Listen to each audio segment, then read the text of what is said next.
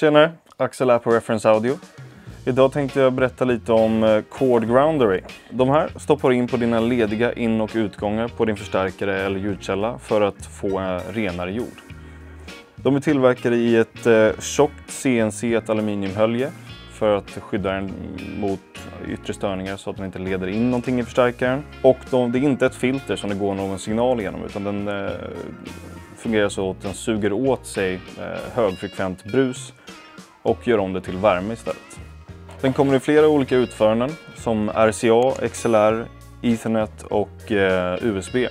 Så att du kan använda flera stycken eller ja, hitta den som passar för just dig. De går att köpa styckvis om man inte vill köpa hela det här kittet. Eh, men det ska ge bättre resultat att använda flera stycken. Välkommen in till butiken här på Götgatan 35 om du vill ha en demo på de här eller om du vill göra ett hemlån och testa hemma själv.